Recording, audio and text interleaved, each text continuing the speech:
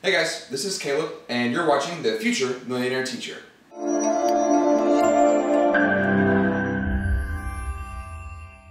Okay, so a big update. Uh, on Christmas, just a couple days ago, I finally paid off the last of my student loans. So overall, I paid off $78,000 in 41 months. So now I've only got $12,500 of debt left, um, a small loan from the bank of mom and dad, and a couple thousand dollars to pay off my car. Hopefully I'll have all of that done by June. So how often do we hear from all of the older people, all those boomers, that the reason we can't get ahead financially is because of our avocado toast, our brunches, our mimosas, and our fancy coffees. So I realized that it's not necessarily the avocado toast or going out for coffee every day that keeps you, you know, financially in the hole or keeps you from paying down your debt. I realized that for me personally, I have what I've kind of now retroactively calling the $30 rule. And I looked back at my previous months and realized that my purchases that were over $30 were all budgeted for. They were all planned, with only a few exceptions.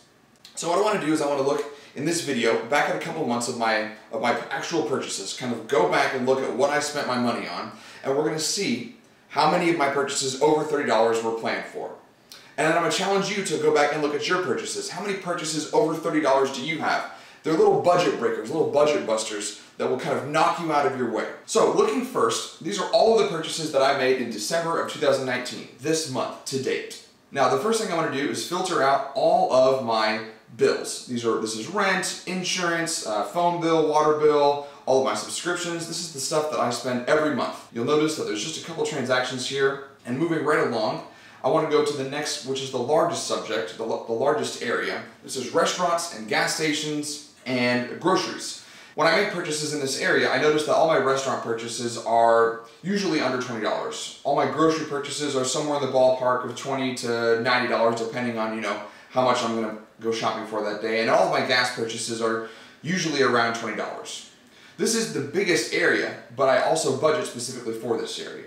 Next, if I filter out in orange, I'm going to filter out all my miscellaneous items. These are purchases that are under $20 or they're purchases that I know that I'm going to make every month. For example, um, when I pay up, have somebody walk my dog if I'm going to be at work for you know the whole day, or, or a haircut, or if I want to treat myself to uh, going to the movies. This is all my miscellaneous stuff. Notice that most of these purchases are under $20. So every month is going to have its own specific needs, its own specific purchases. So for example, in December, you're going to go buy Christmas presents. So you'll see here, I've got a Secret Santa purchase. I also went to Hawaii with my boyfriend. He's a flight attendant, so I didn't have to pay for the ticket or the hotel, which was kind of sweet.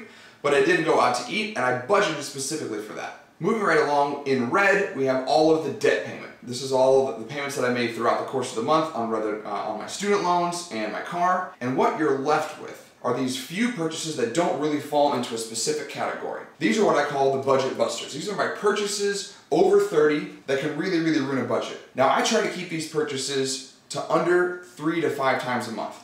So you'll see, um, I went ahead and bought my NBC Sports Gold package so I could continue watching soccer. Um, I went, I got, I got lazy one night and had Thai food delivered, and then there were a couple times where I went out to eat and spent a little more on, you know, an appetizer, and dessert, and drinks than I probably should have. But in entire month, there were only four purchases that I didn't specifically budget for. Now, taking a quicker look, a much quicker look at November, you'll see that my purchases, about the same amount of purchases. Obviously the bills and the rent, pretty much the exact same. A lot of similarities with all the restaurants and groceries and gas. A lot of similarities with the miscellaneous items like dog walking or paying for parking or the random pair of gloves I had to buy when it was cold. Basically the similar amount of miscellaneous purchases. But you'll look here at the specific purchases to November. On the right, I ended up taking a work trip for the state marching contest. Uh, a lot of that got reimbursed, but these are all my specific purchases to the month. In the middle column, you'll see that I went with my boyfriend on an over, overnight trip to Savannah, Georgia.